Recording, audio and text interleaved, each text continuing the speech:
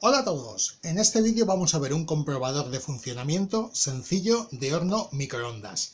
Claro está que podemos colocar, como se hace siempre, un vaso de agua dentro del horno para ver si el mismo, una vez puesto en marcha, está calentando, pero bueno, para los que os dedicáis ya a las reparaciones de hornos, pues un detector un poquito más profesional, entre comillas, ya es que es de construcción casera.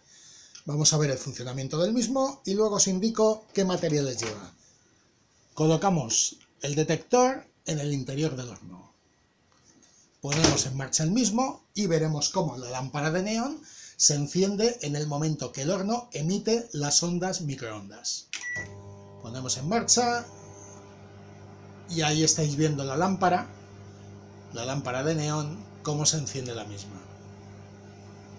Vuelve a emitir el horno, tal como veis, por lo tanto la lámpara queda encendida y en el momento que corta la microonda, ya que las microondas no son constantes, sino que van a pulsos, emitiéndose, la lámpara se enciende en el interior del horno. Pararemos. Ahora cuando apague, ahí está. Apagado y vamos a ver qué componentes son los que lleva la misma, que ya digo son extremadamente sencillos. Desmontamos y veremos el interior tal como veis. Pues esto no es nada más que un bote de los de especias, el típico bote de especias que utilizamos en la cocina, una vez vaciado, limpio el mismo y retirada la pegatina, y completamente seco, eso sí que muy importante. Y el interior lo único que tiene es un tubito como soporte y como método de detectar las ondas microondas, utilizamos una lámpara de neón, la típica lamparita de horno, de lavadora, de plancha, la típica que lleva un neón y una resistencia.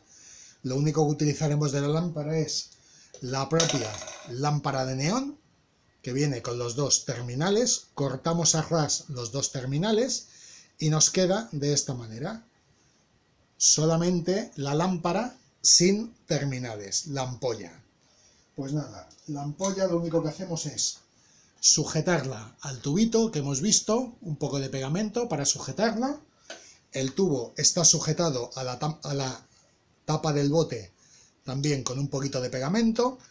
Y por si quedase un poco de humedad en el interior del bote, en algún momento, para que no quede ahumado el interior, le he realizado a la tapa cuatro agujeros que coinciden con cuatro de los agujeros interiores de el tapón inicial.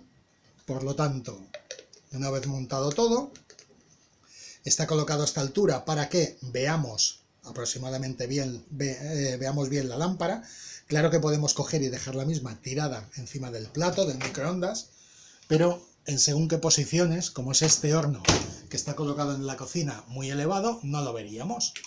Pues bien, volvemos a poner en marcha y ahí vemos nuestra lámpara de neón encendiéndose cuando se producen los pulsos de microondas. Pues nada, espero que os haya gustado, que os sirva de utilidad y a los que hacéis reparaciones de horno microondas, pues ya tenéis un comprobador sencillo que puede dar un aspecto un poco más profesional al trabajo que realizamos, a los reparadores caseros o los pequeños autónomos.